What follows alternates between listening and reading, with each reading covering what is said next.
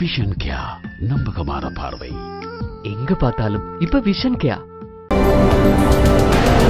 தமிழகத்தின் கீழடி இப்பொழுது தமிழ் பேசும் நல்லுலகின் பேசு பொருளாக மாறியிருக்கிறது.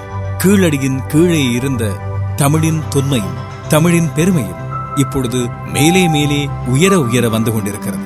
இத்தனை ஆண்டுகளும் தமிழின் தொன்மை தமிழரின் புராதனம் எத்தனை ஆண்டுகள் என்று சொல்லி யோசித்துக் கொண்டிருந்தவர்களை இன்னமும் பின்னோக்கி அழைத்துச் சென்று கல் தோன்றி மண் தோன்றா காலத்து முன் தோன்றிய மூத்த மொழி எம் தமிழ் மொழி என்பதை உலகத்துக்கே அரைந்து சொல்லுகின்ற அளவுக்கு மிக மிக நுண்ணிய ஆதாரங்களை உலகம் ஏற்றுக்கொள்ளக்கூடிய உறுதியான ஆதாரங்களை தந்து கொண்டிருக்கிறது கீழடி அகழாய்வு. தென் தமிழகத்தின் மதுரை சிவகங்கை மாவட்டங்களின் எல்லைப் பகுதியில் அமைந்திருக்கின்ற சிலைமண் என்ற ஊருக்கு அருகே இருக்கின்ற அகழாய்வு பிரதேசம் தான் இந்த கீழடி. மதுரைக்கு தென்கிழக்காக 12 கிலோமீட்டர் பயணித்தால் இந்த கீழடி பிரதேசம் வரும். இதன் ஆய்வுக்கு உட்பட்ட இந்த அகழாய்வு பிரதேசம் கண்டறியப்பட்டது ஒரு ஆச்சரியமான விடயம். ஆனால் இப்போது நாங்கள் நினைத்துக் கொண்டிருப்பதைப் போல இந்த வருடத்தின் ஒரு சில மாதங்களுக்கு முன்னர் தான் இந்த அகழ்வாராய்ச்சி இடம்பெற ஆரம்பித்தது என்று சொல்லி நாங்கள் நினைத்தால் அது மிகப்பெரிய தவறு.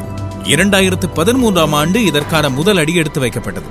அதற்கு பிறகு தொடர்ச்சியாக இது பற்றிய ஆராய்ச்சிகள் நடந்து கொண்டு வந்தாலும் சில இடங்களில் அது மூடப்படுவதும் சில இடங்களில் அது தடுத்து நிறுத்தப்படுவதும் சில இடங்களில் இப்படியான அகழ்வாராய்ச்சிகளுக்கு தடைகள் தோன்றுவதும் இந்தியாவின் அரசியல் அதுபோல இந்தியாவின் இனத்துவ வரலாற்றின் ஒரு முக்கியமான விடயமாக அமைந்திருக்கிறது. இந்த அகழ்வாராய்ச்சி ஆரம்பித்து வைத்தவர் தொல்லியல் திணைக்களத்தைச் சேர்ந்த அமர்நாத் ராமகிருஷ்ணா என்பவர். அவர் இந்த அகழ்வாராய்ச்சி ஆரம்பித்த போது அவரும் இரண்டு உதவி தொல்லியலாளர்களும் ஆறு தொல்லியல் பற்றி அகழ்வாராயும் மாணவர்களும் அடங்கிய ஒரு சிறு குழுதான் இதை ஆரம்பித்தது அவருக்கு பல்வேறு தடைகள் வந்த வேளையில் அமர்நாத் ராமகிருஷ்ணா இடமாற்றம் செய்யப்பட்டது வேறொருவர் வந்தது இந்த அகழ்வாராய்ச்சியை தள்ளிச் சென்றது அதற்கு பிறகு மூடி மறைக்கப்பட்டது எல்லாம் வரலாறு. ஆறு ஆண்டுகளுக்கு பிறகு மீண்டும் தோண்டப்பட்ட இந்த வரலாறு தோண்ட தோண்ட தமிழின் தொன்மையை எங்களுக்கு தந்து கொண்டே இருக்கிறது.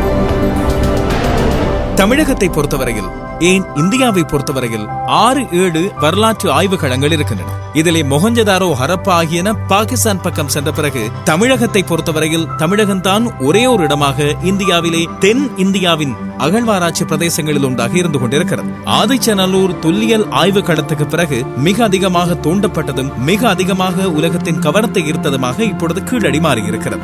இரண்டாயிரத்து பதிமூன்று பதினான்காம் ஆண்டு காலத்தில் இதை பற்றி அகழ்வாராய்ச்சி செய்யப்பட்ட போது வைகை ஆறு தோன்றுகின்ற தேனி மாவட்டம் முதல் கடலில் கலக்கின்ற ராமநாதபுரம் மாவட்டம் வரை மதுரையில் பாண்டியர்களின் ஆட்சி இருந்த களம் என்று சொல்லப்பட்ட இந்த ஆய்வுக்களம் படிப்படியாக ஒவ்வொரு இடமாக அகழ்வாராய்ச்சிக்கு உட்படுத்தப்பட்டது. அப்போது தெரிந்த உண்மைகளில் ஒன்றாக இப்போது இருக்கின்ற மதுரை அல்ல அந்த காலத்தில் பாண்டவர்கள் ஆண்ட மதுரை. அது கீழடிக்கு சமீபத்திய இடமாக இருக்கலாம் என்று சொல்லி இப்போது இந்த அகழ்வாராய்ச்சிகள் மூலமாக தெரிய வருகிறது. பொதுவாக சொல்வார்கள் ஆற்றங்கரையை அண்மித்தே மனித நாகரிகங்கள் தோற்றம் பெற்றன. இத்தனை காலம் இருந்த சுமேரிய வரலாறுகள் கிரேக்க வரலாறுகள் நைல் நதிக்கரையோரம் தோன்றிய நாகரிகங்கள் அதுபோல குவாங்கோ நதி என்று அழைக்கப்படுகின்ற மஞ்சள் நதியில் தோன்றிய சீன நாகரிகங்கள் சிந்து சமவெளி நாகரிகங்கள் இவையெல்லாம் தாண்டி தமிழகத்துக்கு பெருமை சேர்க்கின்ற வைகை நதிக்கரையில் தோன்றியிருக்கின்றது. இந்த கீழடியில் தமிழரின் அந்த கால நாகரிக வாழ்க்கை முறை என்று சொல்லி இப்போதைய ஆய்வுகள் மூலமாக நாங்கள் பெருமைப்பட்டுக் கொள்ளலாம். ஆயிரத்து தொள்ளாயிரத்து நான்காம் ஆண்டு அலெக்சாண்டர் ரீ என்பவர் அப்போதைய பிரித்தானிய ஆளுகைக்குட்பட்டிருந்த இந்தியாவிலே ஆதிச்சநல்லூர் அகழ்வாராய்ச்சிகளை மேற்கொண்டிருந்தார். அது